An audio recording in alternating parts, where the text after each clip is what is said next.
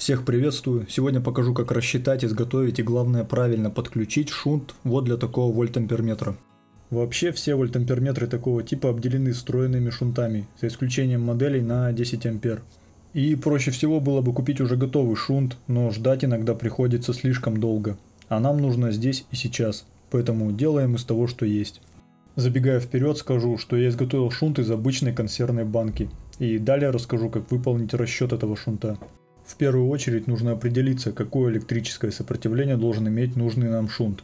Проще всего, конечно же, найти паспорт на заводскую модель шунта и взять это значение оттуда.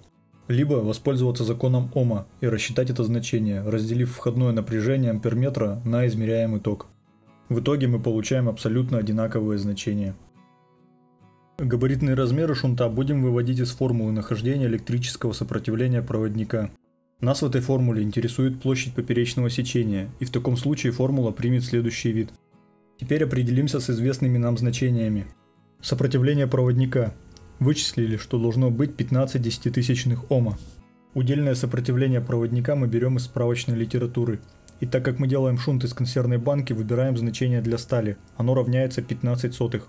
Длину проводника выбираем произвольно, но я возьму значение в 10 сантиметров.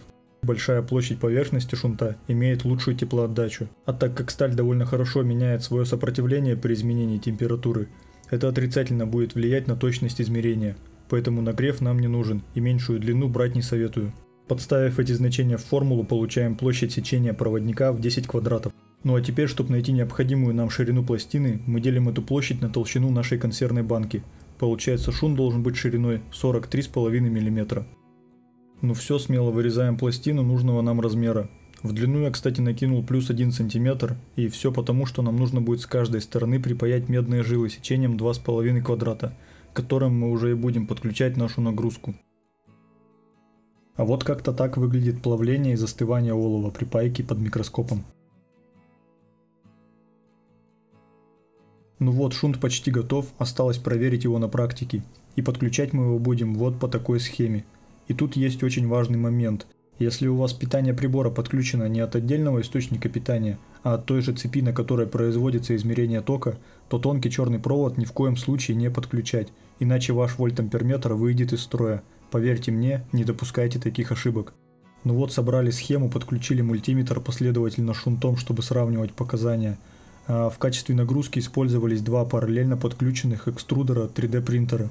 Видим, что шунт занижает примерно на пол ампера, но крутить подстроечник при таком разбеге пока рано. Срезаем примерно 3 мм шунта и подключаем снова.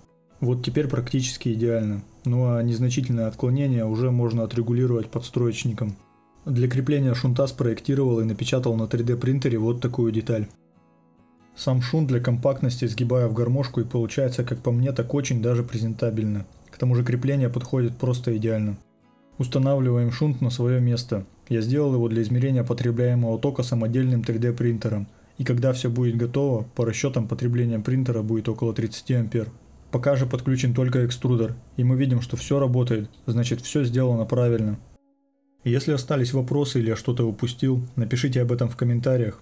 Мне будет очень приятно, если вы поставите лайк этому видео и подпишитесь на канал.